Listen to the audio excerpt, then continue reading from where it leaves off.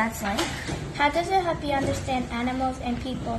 I'm what's called an object visualizer. Everything I think about is a picture. Um, and then things that interest me, I'm it's sort of like having little uh, cell phone camera pictures. That's my memory.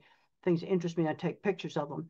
Now that helped me in my work with animals because in the very first work I did with cattle, I got into the chutes to see what cattle were seeing, and they were afraid of things like shadows, puddles, uh, pieces of rope hanging down, maybe a vehicle parked next to the fence, kind of visual distractions, a reflection off of metal, a little piece of metal that jiggled, little things we tend to not notice. Now, at the time that I was doing this, my early 20s, I did not know that other people thought in words. And that's why they thought it was odd to get in the chutes.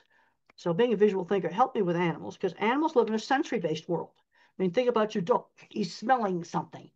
That's like going down to the local coffee shop and getting all the gossip. What's the animal feeling? For example, the octopus lives in a touch-based world.